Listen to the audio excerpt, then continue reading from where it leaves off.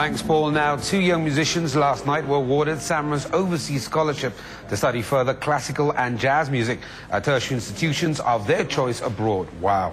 Now, two artists were chosen from a group of 23 that were chosen from different corners across the country. The SAMRO Overseas Scholarship Competition is on its 50th year. Now, joining me in studio is Maury Montierre and Vuyo Sotashe. Welcome to uh, Weekend Live. Thank, Thank you. Good morning. Maury, let's start with you. Uh, has it sunk in the outcome and the result of last night? Not really, no. Not at all, actually. and for you, Vuyo? Geez, um, we've been awake the whole night. Yes. Actually, we haven't been able to sleep, so uh, I think uh, I think being here actually kind of makes it sink in a bit. Like makes more, it. yeah, like yeah. How are you guys yeah. feeling, Maury? How are you feeling? It was a big competition last yes, night. Yes, very, very big. I've still got butterflies in my stomach. Yeah. And I'm still excited. As you said, we couldn't sleep last night. Um, yeah, adrenaline's still pumping and going, yeah. Well, you, are you feeling, as the nerve settled, you said it, the reality sinking in now, but yeah. what was the feeling like last night, your, hearing your name? Yeah, like, um, the, the whole event was really big. I mean, it was SAMRO's 50th, you know, and, and getting, being given the honor to perform and, and compete for the award for this year, you know, and, and also having the opportunity to sing in front of um, our former president, um, Thabo Mbeki. Yeah. Like, that was a, a huge honor.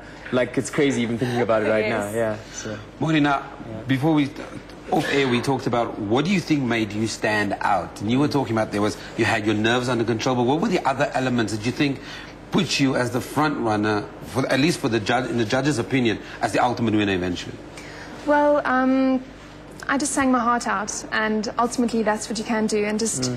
I, we practiced a lot and rehearsed a lot, and hard work. And also, I want to be a representative of SAMRO, and Thabo Mbeki was there as well, as yeah. you mentioned. So, yeah, it was just wonderful. And, yeah. yeah. Standout factor for you, Will? Geez, um, all of the singers that were, that were selected for the final were amazing. Like, each and every one of them had something amazing, specific, you know, and different about them. So, I think like just just being chosen is an honor. I, I, I, don't know what specifically. We all sang our hearts out. We tried to connect with the crowd, and we were the lucky ones, I guess. You yes. know, out of the amazing singers. Let, let me let me throw that a question at you. What was the journey like? Leading up to last night? I mean, there was 23 yeah. chosen from across the country. Yeah. You're the ultimate winner. What was their journey like from the very first audition all Jeez. the way through? Yeah, um, the, the, competition actually has three phases. Um, mm. You have uh, the qualifying round where we send in our recordings of ourselves and and they sift through all of the recordings that they receive and then they choose six from each category and then there's an intermediate round which happened on Thursday, um, yeah. the 1st of September and we just sing like you sing your brains out, yes. your heart out, you sweat everything to get to get to the final and they choose the final. We don't know what the specific criteria is. We just know that we need to sing our hearts. There's yeah. also prescribed piece yes. that we're supposed yes. to sing. And your journey, what was your journey like from the first recording you sent in? Very emotional. Yeah. And also it's a lot of our friends that yeah. were, you know, some yeah. of the competitors. And yeah, it was also nice to have the support last night. Yeah. Um, yes, just... Often when we read about this competition, it's been described as a life-changing moment, a defining moment uh, in an artist's not only career, but in terms of what happens next. Mm. How do you feel about that? I'm excited. I'm very, very excited, and I can't wait to start. Mm. Have you chosen the institution you're going to go and study at? Yes, um, I want to go and study um, in London, Guildhall. Life-changing moment for you has that? Yeah. That has that actually sunk in the fact that this is a defining moment? Geez, this is. I think people have known for years that the SAMRO International Scholarship is like a, a huge door that can open for a, a, young musician who wants to go study abroad. So, like, I, I mean, being chosen to be one of the six finalists was like a huge honor yes. already. I mean, and that's it's sunk in, like it's sunk in already, you know. But winning it is like yeah, another level. That's just, like receiving it, yeah. Now you're heading to Manhattan. Yes, yes, yeah. Hopefully, I still need to uh, uh, graduate from UCT first. Um, but yeah, that's that's the dream. That's the short-term dream to go study um, at the Manhattan School of Music. Yeah. What what what was the reason that you decided to go to, to the London to use your two years your scholarship and, and move to London? Um, the type of music that's in London and also the contacts and I want to represent South Africa. Mm. Hmm? Yes. Yeah, come on now. Yeah. And for you?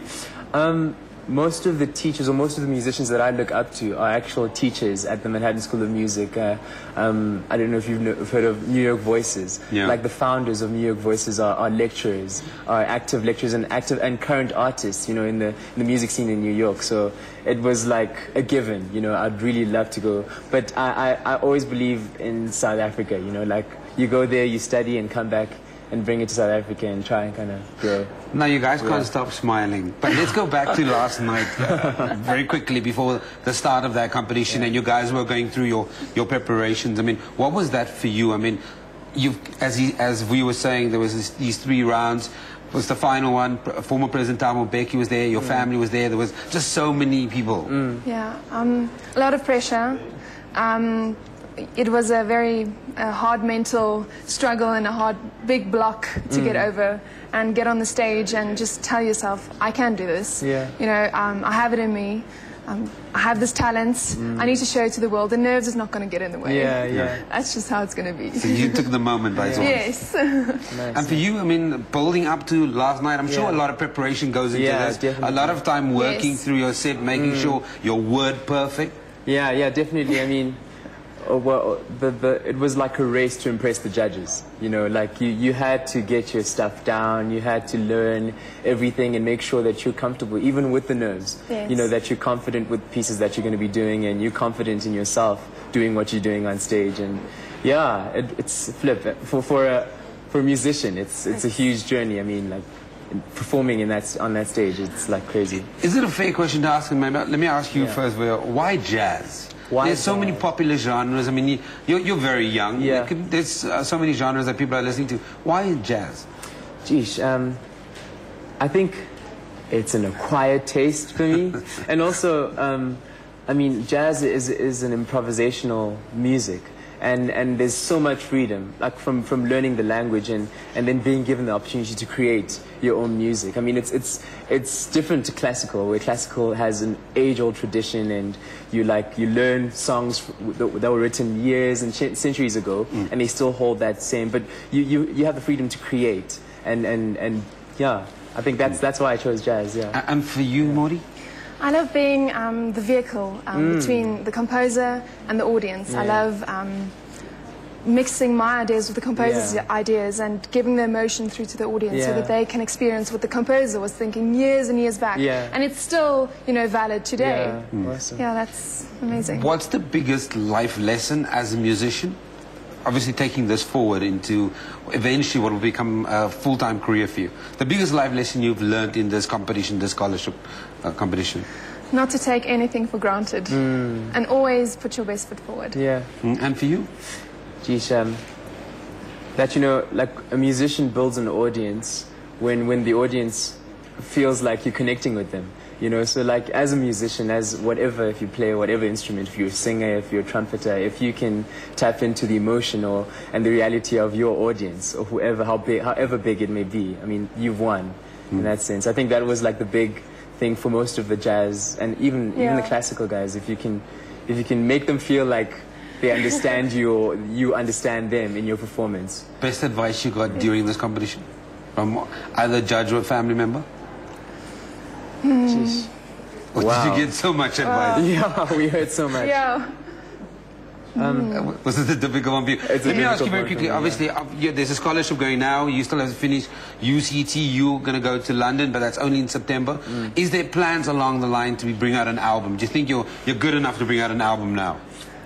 Jeez. I'm going to sing in an opera. That's Okay, so you've got to work. Yeah. Yes, um, in Die Entführung aus dem Serail. That's next, Blondchen. And then um, finish my honours at UCT next year. And then next year, September, go to study overseas, abroad. yeah Again, for you? I think for me it's still a growing process.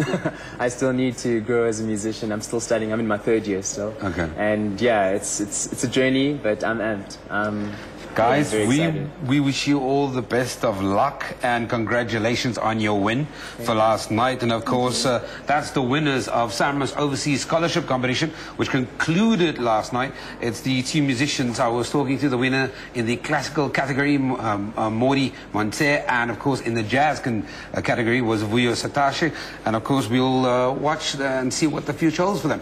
With that, uh, we'll take a short break. We'll be back after this. Thank you.